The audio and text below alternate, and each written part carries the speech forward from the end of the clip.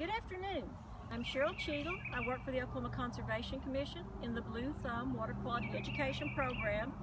And the Blue Thumb team is using this kind of unusual time where we're all trying to keep a distance during the COVID-19 moments of time. We are trying to use this time to possibly do some educational type work that we really haven't jumped into very, very much before.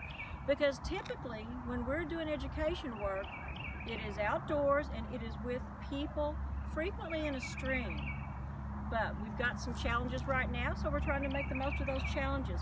So what I'm going to talk to you a little bit about today is about runoff and the way that rain and other precipitation works with the land and why that is so important for our drinking water, for the streams and rivers that go through our communities, for power generation, for the cattle for crops to grow, for our wildlife to use. We're just going to talk a little bit about that. We are out at a park in South Tulsa County, and I want you to be aware you're going to hear the ambient noises of life going on.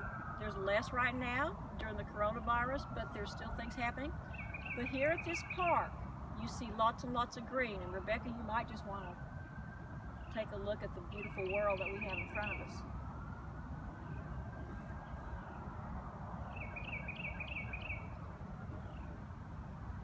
Becky, move over just in case they call.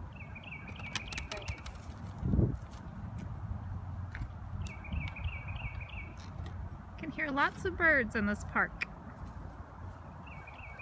This is Morris Park, but we sometimes call it Goldfinch Park because we've seen so many beautiful goldfinches here.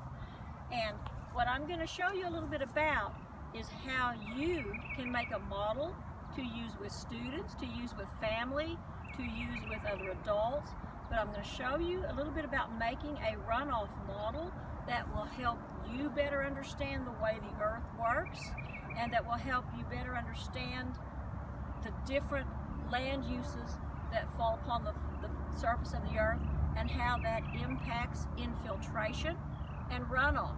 Because these are two pretty important concepts that are almost a part of an urban ecology as well as understanding out in the country.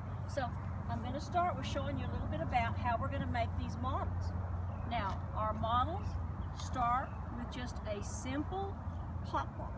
So I've taken the label off of my bottle, and this is just a bottle. I, I didn't go out and buy Dr. Pepper particularly for this cause. This is something I had at home.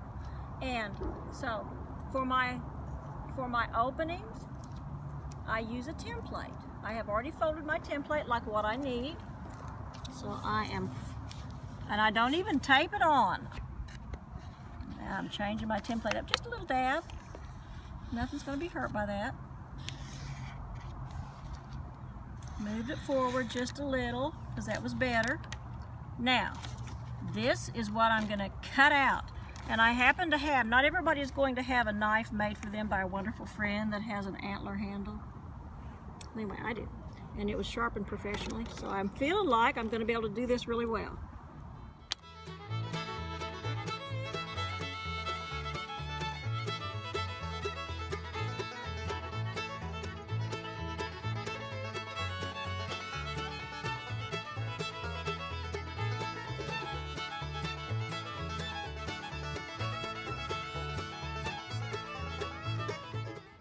All right, so my first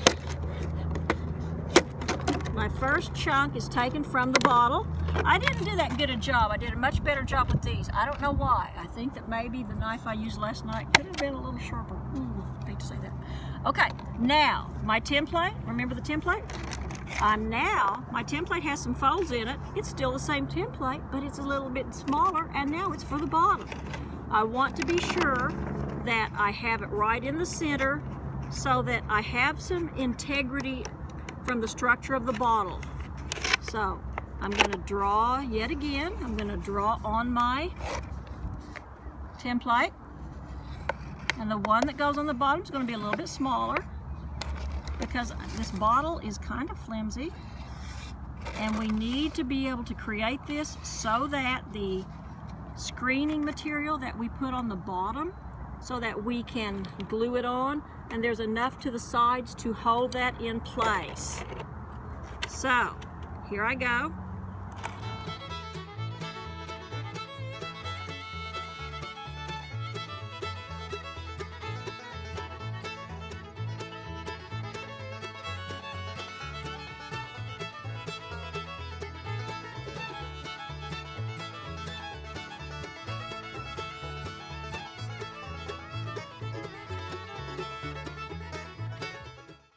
All right, now this is pretty cool. I have cut out two. Hey, Cheryl, what is it that Hi, you're Kim. doing?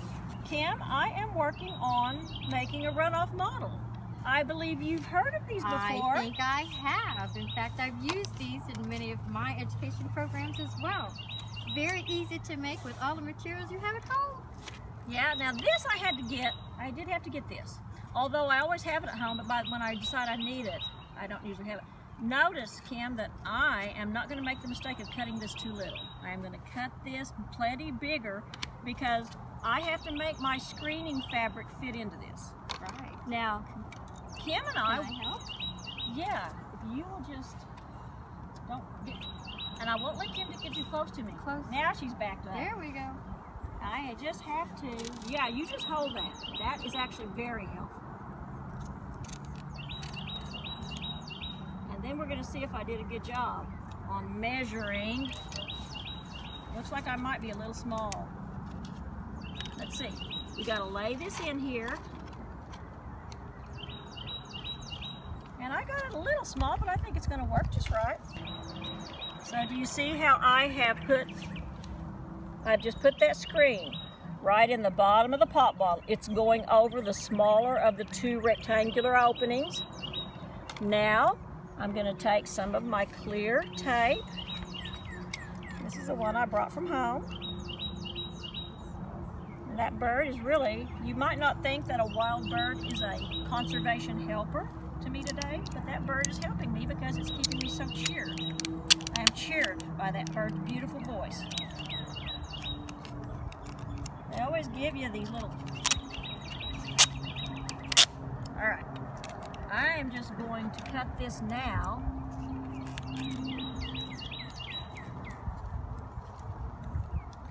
Softly.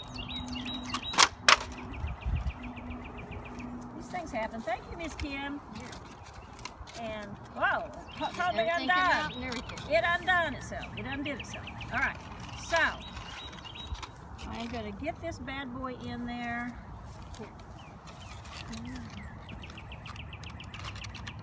Get it laid in there and then get away from me.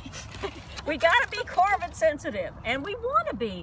You know, we really appreciate, we are, we are state employees and we have to be sensitive to this. We have a governor who has set up, who is following good guidelines and is encouraging us to be careful so that Oklahoma can get back rolling as normal as soon as possible. I'm sorry, Kim, you just did it and I undid it.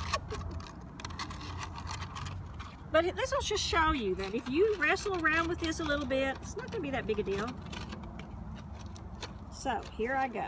I bought this glue at at um, just a, I think it was Atwoods or Tractor Supply, and to be honest, it's called Liquid Nails. There's a glue called E6000 or something like that, and that's the glue I really like. Can you use like Gorilla Glue or you don't want to use Elmer's and you don't want to use Mod Podge because this gets too wet for those kinds of glues. So this is really hard to get it out of the tube, but I did it. And now, and I also want to point out that I put Vaseline around the top of this so that it won't glue itself to the bottle because I've had that happen before. Really frustrating. So, where, here's my tape.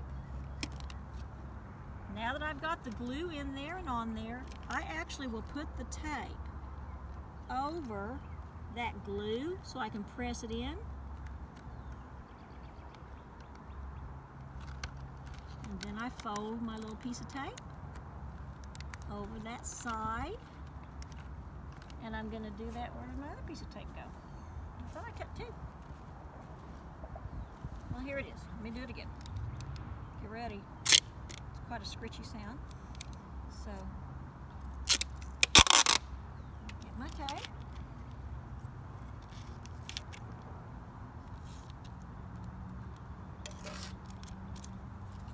And I go to the other side. I put this over the glue, over the screen.